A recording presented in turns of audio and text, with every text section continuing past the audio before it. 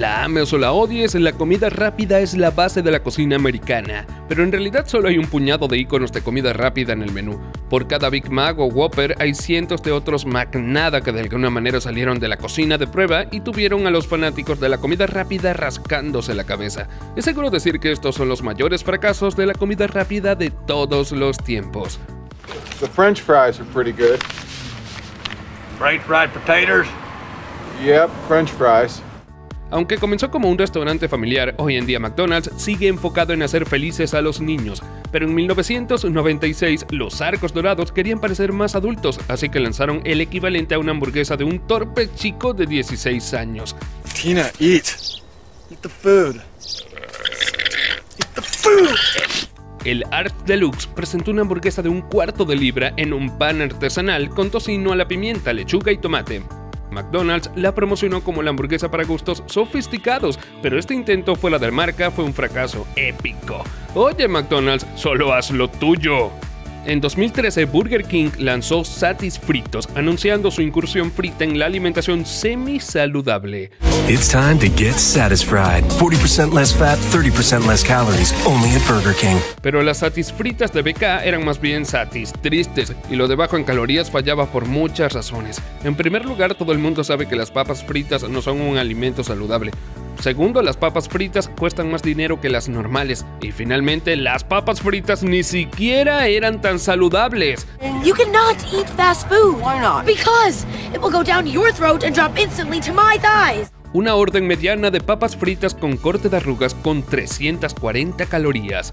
A pesar de reemplazar las papas fritas regulares por satis fritas en las comidas de los niños, Burger King eliminó el artículo adicional un año después debido a las ventas insatisfechas. Welcome to Wendy's. Good evening, Wendy. Antes de que se dieran a conocer por enviar tweets épicos, en 2006 Wendy's quiso darle una oportunidad a Subway, así que Wendy's lanzó una línea de saludables sándwiches.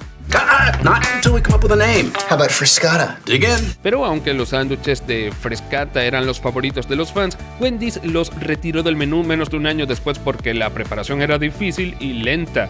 Los panes artesanales se horneaban frescos y cada sándwich se hacía por encargo. Puede que Wendy's ahora se preocupe por la frescura, pero no parece que vaya a ofrecer nunca más ningún frescata. Hey, where's the meat? Aunque podría haber ayudado a lanzar la carrera de Jason Alexander de Seinfeld, el McDLT de McDonald's no fue una hamburguesa de éxito, a pesar de que estuvo en el menú desde 1984 hasta principios de los 90. Could be the best tasting lettuce and tomato hamburger ever. El McDLT se sirvió en un contenedor de poliestireno que fue la principal razón de su desaparición. El contenedor de lujo fue diseñado para mantener el lado caliente caliente y el lado frío frío, y fue el cliente quien tuvo que hacer el trabajo de apilar los dos lados juntos. When those that are kept apart finally come together, it's not just good. Meat is fantastic. El maestro de la parrilla de McDonald's, Ken Forton, dijo a Sirius Eats que muchos lugares de McDonald's no podían preparar adecuadamente la hamburguesa, diciendo, había una máquina especial de calentamiento y enfriamiento que teníamos. Era como un calefactor de cremallera, pero frío por un lado y caliente por el otro. Creo que en muchos lugares solo se usaban calentadores normales, así que los clientes solo recibían hamburguesas tibias.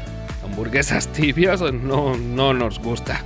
En 2014, Burger King Japón lanzó la hamburguesa Kuro. Un año más tarde, Burger King en los Estados Unidos lanzó la A1 Halloween Whopper con un pan negro que obtuvo su color del A1 con salsa de carne horneada en su interior. Pero aunque esto iba a ser un elemento del menú de temporada, la cadena se calentó un poco con respecto a ese pan negro. En octubre de 2015, el USA Today informó que varios clientes de Burger King se quejaron a través de Twitter de que después de comer el pan su caca era verde. You gotta be kidding me. Everything you just said is my favorite thing to do every day. Un consejero de nutrición certificado le dijo a la revista, para hacer que la caca se vuelva de ese color verde, se requeriría mucho más tinte que en el típico tipo de A1. Mi suposición es que están usando una forma concentrada.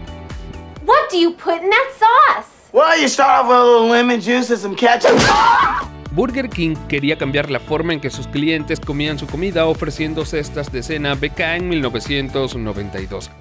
It's a whole new thing, and it's happening next. Burger King. De 4 a 8 pm, su Burger King local servía comida en cestas para la cena y la traía a su mesa, aunque Burger King promociona las cestas de cena y el servicio de mesa con Dan Cortés de MTV Sports. La cadena de comida rápida rápidamente retiró el producto y todo se olvidó, junto con Dan Cortés.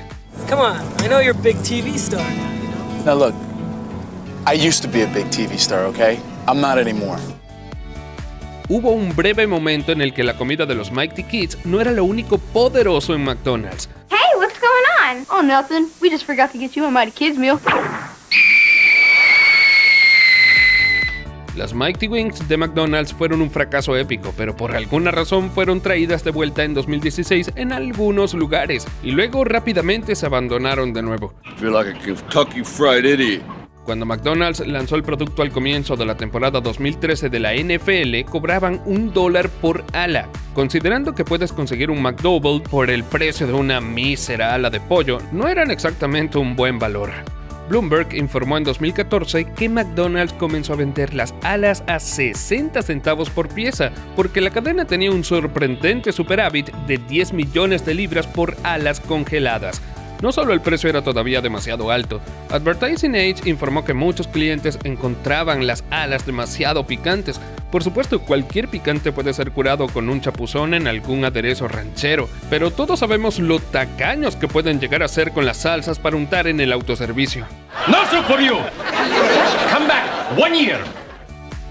Gracias por mirar. Haga clic en el icono de Mashed para suscribirse a nuestro canal de YouTube. Además, mira estas otras cosas geniales que sabemos que te encantarán también.